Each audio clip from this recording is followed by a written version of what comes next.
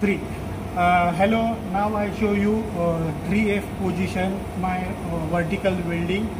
So i am starting. Now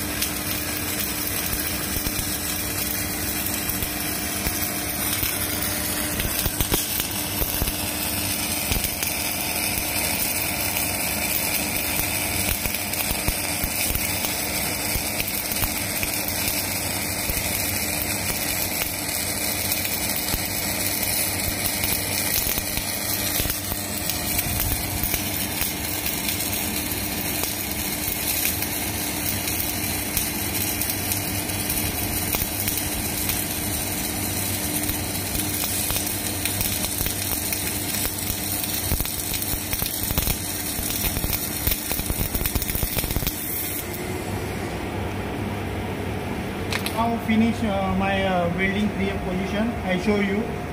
Come here.